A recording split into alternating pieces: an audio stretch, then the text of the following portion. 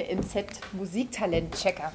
Ich habe hier die Frau Schuter zu Gast von den Nürnberger Symphonikern und ihr habt es wahrscheinlich alle schon längst erkannt, das ist eine Geige. Und ähm, ja, Frau Schuter, was war das gerade für ein Stück? Ja, das war ein unbekanntes Stück von einem rumänischen Komponisten, eine Serenade. Und als ich mit 16 dieses Stück gespielt habe, einmal vorgespielt habe, habe ich mich entschlossen, Musikerin zu werden, sonst wäre es vielleicht was anderes geworden. Ah, interessant. Wann kann man denn anfangen, Geige zu spielen?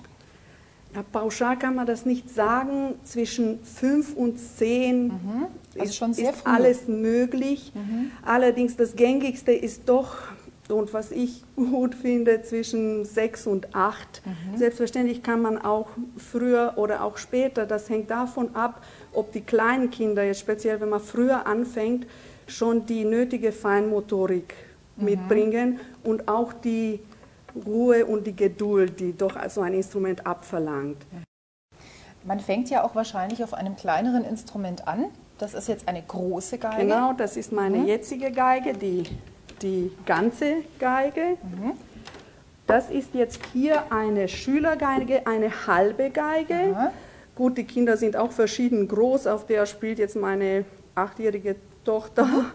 Aber es gibt auch Viertelgeigen, es gibt mittlerweile auch Achtelgeigen oder noch klein, kleinere. Ganz klein. Also es war vor ein paar Jahren auch in Mode gewesen, dass man noch früher angefangen hat. Aha. Aber ich finde, dass die Kleinen sich zur Musik auch bewegen sollten und äh, dass man dadurch die Musikalität auch mhm. fördern kann. Das ist also eine halbe Geige. Also wenn ihr ganz geschickte, schnelle Finger habt, ist eine Geige für euch ganz toll und ein bisschen Geduld müsst ihr auch mitbringen.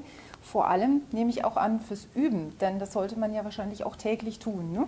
Ja, selbstverständlich. Also die Ausdauer ist das Wichtigste. Wie viel ungefähr jeden Tag so? Das ist wieder unterschiedlich. Bei den ganz Alter. kleinen reichen auch 15 Minuten, wenn es täglich ist oder möglichst täglich. Bei den großen eine halbe Stunde ist schon angebracht und selbstverständlich, wenn man richtig gut sein will, dann ähm, Stunde oder mehr. mehrere Stunden, wenn man dann studiert, selbstverständlich. Okay.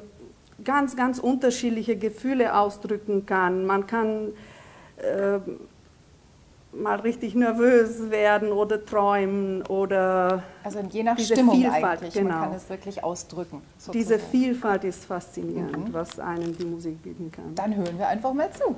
Gut.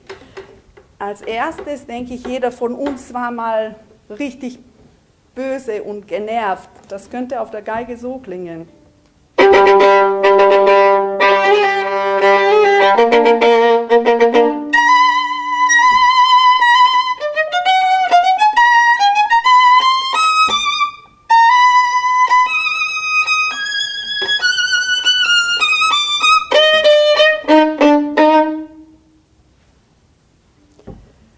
kann aber auch träumen auf der Geige.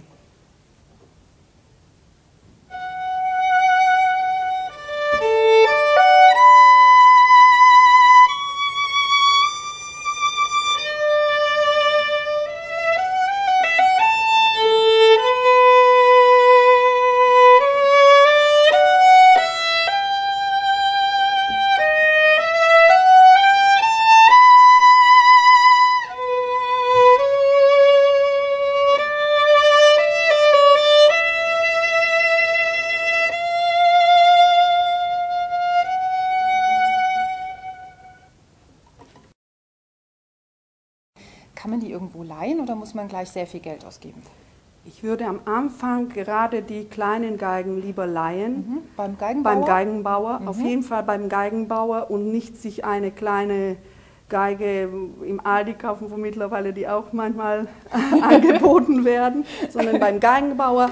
Das kostet im Jahr unter 200 Euro. Mhm. Und wenn man das länger anmietet, ein, zwei Jahre, dann wird das äh, verrechnet, wenn man dann auch eine Geige kauft. Richtig kaufen würde ich. Erst eine ganze sagen, Geige. Ja, ja, kann man auch früher, aber gut. Ja. Was muss man ungefähr so anlegen, wenn man sagt, man möchte eine ordentliche Geige? Nach oben ist die Grenze natürlich offen, ganz klar.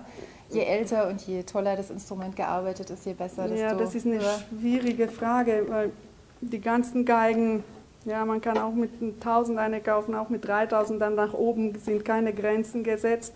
Es ist die Frage, wie das. Wie gut sie klingen soll. Genau, okay. genau, genau. Je besser die Geige, desto mehr Freude hat man dann auch am Spielen und am Lernen. Frau Schuter, wie wichtig ist es denn, dass die Eltern hinter einem Kind stehen, das Geige lernen möchte? Weil ich könnte mir vorstellen, es dauert eine Weile bei diesem Instrument, bis man richtig schöne, klare Töne hat. Deswegen auch die Geduld, oder? Da sprechen Sie was sehr Wichtiges an. Und zwar, die Kinder brauchen hinter sich das Feedback der Eltern und auch die Geduld auch der Eltern. Ähm, weil es am Anfang nicht so, es kann auch mal ein bisschen kratzen. Es kann auch Anfang, mal ne? gewaltig kratzen, es kann auch wehtun und ich brauche, ich denke, äh, es ist sehr wichtig, dass wir als Erwachsene uns äh, zufriedenstellen mit kleinsten Fortschritten, dass wir die Kinder loben für die kleinen Schritte. Es ist der Weg der kleinen Schritte mhm. und die Ausdauer, ähm, diese Erfahrung zu machen, dass man mit Ausdauer etwas erreicht. Ich spiele gerne aus dem Kaiserquartett die deutsche Nationalhymne. Ja, wunderbar, die kennen, glaube ich, alle. Viel Spaß.